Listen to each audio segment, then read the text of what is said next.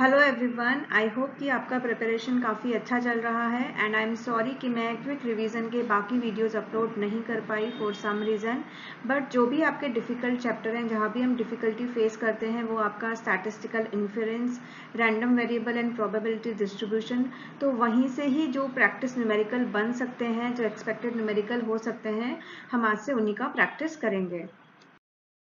So first question in a painting competition, 10 candidates were judged by two judges and the ranks given by them are as follows. So 10 candidate हैं 1, 2, 3, 4, 5, 6, seven eight nine and ten A to J तक ten candidates हैं जिनका नाम ए to J तक रखा है। ये जज वन है ये जज टू है रैंक दिया हुआ है। अभी थ्योरी समझने का ज़रूरत नहीं है क्योंकि ये हम एक्सप्लेन देख चुके हैं प्रीवियस वीडियो में ही कि कॉफिशियंट ऑफ़ रैंक कोरिलेशन क्या होता है। तो सिंपली इसके लिए हम क्या यूज़ करते हैं? स्पीयरमैन्स रैंक कोरिलेशन कॉफिशियंट का फॉर्मूला यूज़ करते हैं।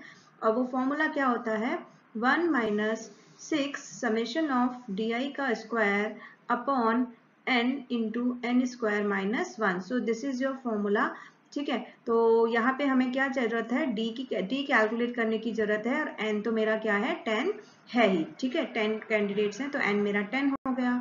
अभी क्या है डी क्या होता है? कहीं जगह कैपिटल डी भी लिखा हो सकता है small D capital D D means absolute difference between the rank of the individual जो एक ही रैंक ही है, जैसे जज वन ने फ़र्स्ट दिया है जज टू ने सेकंड रैंक दिया है तो उस खुद कैंडिडेट की ही एब्सोल्यूट रैंक का जो डिफरेंस है, वो डीआई होता है। तो हमें डीआई का स्क्वायर कैलकुलेट करके फिर उसका सम निकालना है। तो यहाँ पे कंफ्यूज नहीं होना है।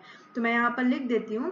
पहले ए बी सी डी ना लिख के मैं रैंक ही का ही टेबल बना रही हूँ, ठीक है? सो रैंक वन का है यहाँ पर, यहाँ लिख दो one four eight six seven one three two five and ten आप साथ में पेन पेपर लेके सॉल्व भी कर सकते हैं, उससे आपका कॉन्फिडेंस ज़्यादा बढ़ेगा।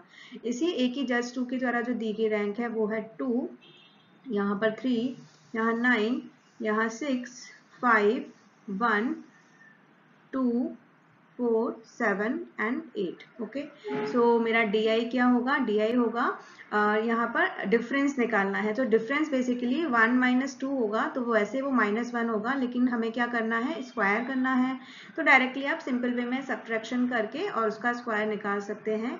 एक इंपॉर्टेंट छोटी सी बात है, आपको सबको आई हो पता ही होगी कि जो नेगेटिव नंबर्स होते हैं, अगर वो इवन टाइम्स हैं इवन नंबर ऑफ़ टाइम्स है, लेकिन जैसे यहाँ पर स्क्वायर हो जाएगा तो मतलब दो बार नेगेटिव साइन आएगा minus one into minus one तो वो हमेशा क्या हो जाता है? पॉजिटिव अगर एक और बार माइनस वन क्यूब होगा तो वो हमेशा नेगेटिव रहेगा। अगर इवन नंबर यानी कि एक और बार हो जाएगा तो क्या हो जाएगा? फोर टाइम्स तो वो पॉजिटिव हो जाएगा। तो even number of times negative sign become positive and और नंबर ऑफ़ टाइम्स अगर होता है, ठीक है तो वो क्या रहेगा? हमेशा नेगेटिव ही रहेगा। ये बात ध्यान रखनी है। तो फोर माइनस थ्री यहाँ पे हो जाएगा वन वन का square is one eight minus nine one one का square is one six minus six zero zero का square zero seven minus five two two का स्क्वायर फोर यहाँ पे हो जाएगा zero three minus two is one one का square is one two minus four is minus two okay okay, कभी मैंने minus two लिख दिया कभी आप टू वो तो आपको डिफरेंस पता ही है।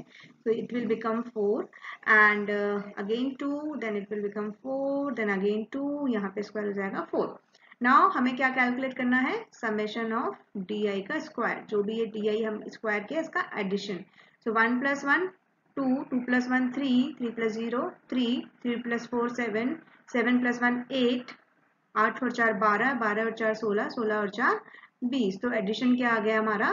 ट्वेंटी आ गया समेशन ऑफ़ डी स्क्वायर की वैल्यू क्या आ गई मेरे पास? ट्वेंटी सो so, अब सिंपल क्या करना है? फॉर्मूले में वैल्यू रखनी है one minus six into twenty okay upon ten into ten का square hundred hundred minus one ninety nine ठीक है यहाँ पे अभी ये वाली टर्म को इतना कैलकुलेट करने से बेटर है कि हम कट ही कर लें।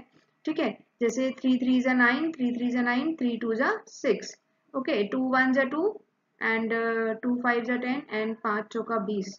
तो ये हो जाएगा one minus four upon thirty three ठीक है थर्टी थ्री एलसीएम लेंगे तो यहाँ पर आएगा थर्टी थ्री माइनस फोर ये हो जाएगा उनतीस बटा तैतीस तो आंसर आएगा zero point eight seven eight seven, ठीक है somewhere around zero point eight seven eight seven, या फिर हमें ज़ीरो पॉइंट एट एट भी लिख सकते हैं ओके सो so, ये हमारा पेड कोर्स है। ऐसे ही काफ़ी सारे प्रैक्टिस सेट के क्वेश्चंस उसमें आपको सॉल्व मिल जाएँगे। दूसरे क्वेश्चन पे आते हैं ठीक है? तो दूसरा क्वेश्चन है below in each case there is given the PDF of a normally distributed random variable okay ये दो क्वेश्चन दिए हुए हैं। ठीक है पीडीएफ दिया हुआ है नॉर्मली डिस्ट्रीब्यूटेड रैंडम वेरिएबल का obtain mean and variance of the variable ये डायरेक्टली ऑब्जर्वेशन बेस्ड क्वेश्चन है। So comparing with the PDF of a normally distributed formula जो है, वो फॉर्मूला क्या होता है? दैट इज़ योर ये फॉर्मूला आपका होता है। ठीक है this is your formula f of x is equal to one upon sigma root two pi e to the power minus x minus mu का whole square upon two sigma square ठीक है? अभी क्या है, ये फॉर्मूले को कई नोट्स में, शायद मैंने ही मेरे नोट्स में इस तरीके से कुछ लिखा हुआ है।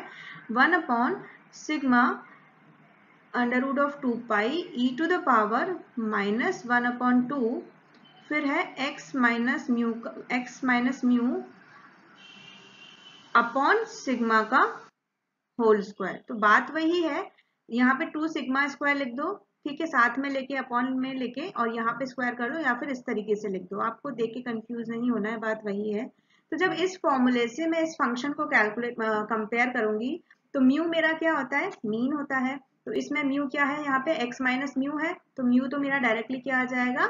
फोर्टी सिक्स अभी ये सिग्मा है फॉर्मूले में ये क्या है? सिग्मा है। सिग्मा मेरा यहाँ पर क्या है? सिक्स है। ठीक है सिग्मा इज़ सिक्स लेकिन मुझे क्या कैलकुलेट करना है?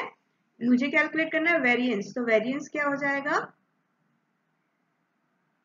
वेरिएंस हो जाएगा सिग्मा का स्क्वायर तो वो हो जाएगा सिक्स का स्क्वायर यानी कि थर्टी सिक्स ओके बहुत ही सिंपल फॉर्मूला बेस्ड क्वेश्चन है. ये क्वेश्चन आप खुद करके देखिए और मुझे आंसर बताइए। अगला क्वेश्चन है write down the PDF of a random variable x in each of the following cases ठीक है? इसका निकालना है हमें। ठीक है पीडीएफ लिखना है। सो so, एक्स हमें दिया हुआ है ओके okay? अभी अगर हम जनरल नोटेशन की बात करें तो बेसिकली ये क्या होता है म्यू और ये क्या होता है सिग्मा स्क्वायर ठीक है? इस तरीके से हम कुछ लिखते हैं नॉर्मल डिस्ट्रीब्यूटेड में म्यू सिग्मा स्क्वायर ठीक है? तो यहाँ से हमें आ, निकालना है आपका पीडीएफ निकालना है तो पीडीएफ का फॉर्मूला आपको पता ही है मैंने अभी बताया ही था ठीक है? तो वो होता है f of x is equal to one upon sigma two root two pi sigma under root of two pi e to the power minus one upon two x minus mu upon sigma का whole square तो इस form में हमको ये PDF पूछा है ना इसमें तो इसी फॉर्म में निकालना है। अब मुझे इस तरीके से वो दिया हुआ है। ठीक है? तो मेरे को पता है कि जो मेरा म्यू है, वो तो है मेरा वन बाई टू तो यहाँ पे वन बाई टू रिप्लेस करना है।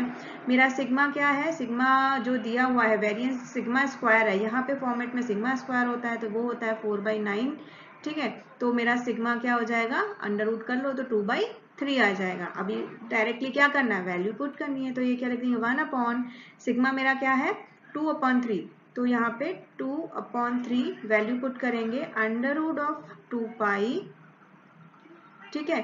फिर e to the power minus one by two x minus mu क्या है मेरा? वन बाई टू सिग्मा क्या है मेरा? टू बाई थ्री का होल स्क्वायर थोड़ा सा और सिंप्लीफाई करेंगे तो ये थ्री ऊपर चला जाएगा।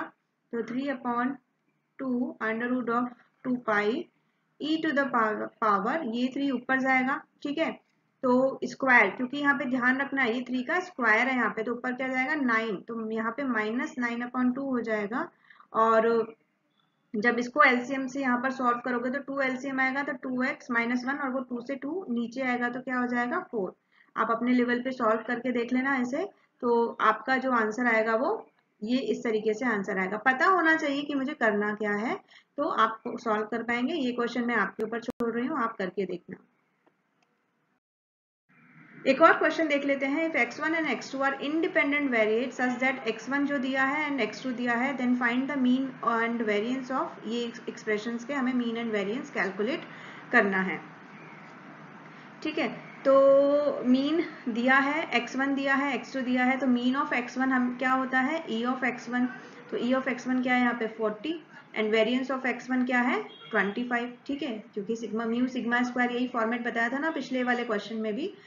मीन ऑफ़ x2 की बात करेंगे, ठीक है? तो ये हो जाएगा 65 और वेरियंस ऑफ़ x2 हो जाएगा मेरा 36 ठीक है? X2 का। अब इतनी बात मुझे पता हो गई। अभी मेरा क्वेश्चन क्या है? मीन ऑफ़ एक्स ठीक है? तो मीन ऑफ़ एक्स मुझे किसका निकालना? इसका। सो मीन ऑफ़ एक्स करके देखते हैं। मीन ऑफ़ एक्स क्या होता है? E ऑफ़ एक्स ठीक है? अब x मेरा क्या दिया हुआ है? X मेरा ये दिया हुआ है तो मैं सिंपली e की x की जगह क्या रख दूँगी? 2x1 plus three x two okay इतनी बात समझ में आई।